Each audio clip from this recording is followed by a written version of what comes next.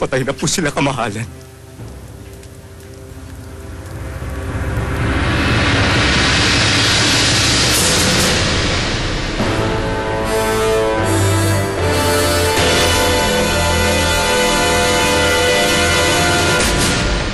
Hindi tayo pwede manahimik sa isang tabi.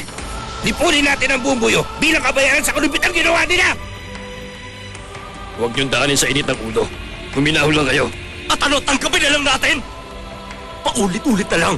Kahit anong kabutihan na ipakita natin, karahasan na lagi nilang tugon! Tapatan natin ang ginawa nila kay General Jumong. Ang balita po namin. Ang gusto ni Haring Yuwa, iburol at ilibing si Lady Yuwa sa Sizo. At sa kanyang burol, ibibigay ng hari ang parangal bilang isang reyna. Sa palagay po namin, pag-aari ng inyong anak. ang mga bantay natin sa labas. Paalisin mo at papagpahingahin ng lahat. Pero kamahalan, Dahil si Jumo, maaaring.